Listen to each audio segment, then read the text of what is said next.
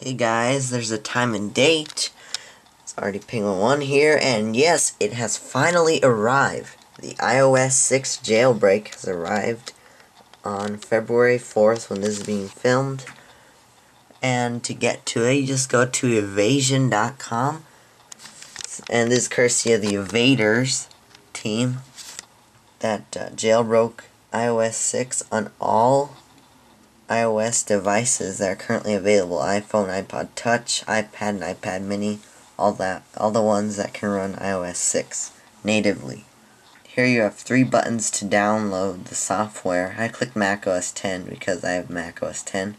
Once you've downloaded it, you go over here and you open it up and it says to connect your iPhone, iPod Touch, or iPad to begin. So let's do that. Okay, so hit that. Click jailbreak, but uh, you have to remove your passcode unlock.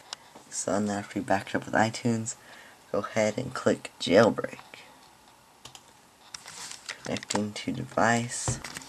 It's working, hopefully. Let me stop and start it right here. It's starting to work. It just injected stage 1 jailbreak data rebooting. It's now rebooted. Connected. Injecting stage 2 jailbreak data. Uploading Cydia.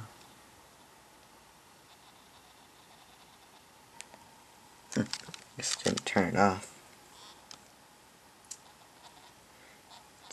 See here.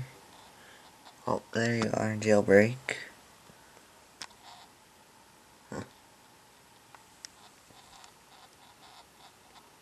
Mounting payload.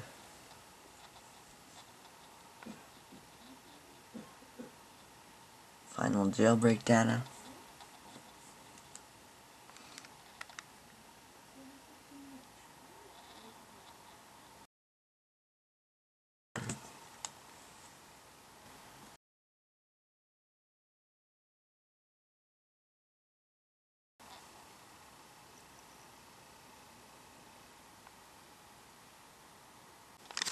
Here's the jailbroken iPad.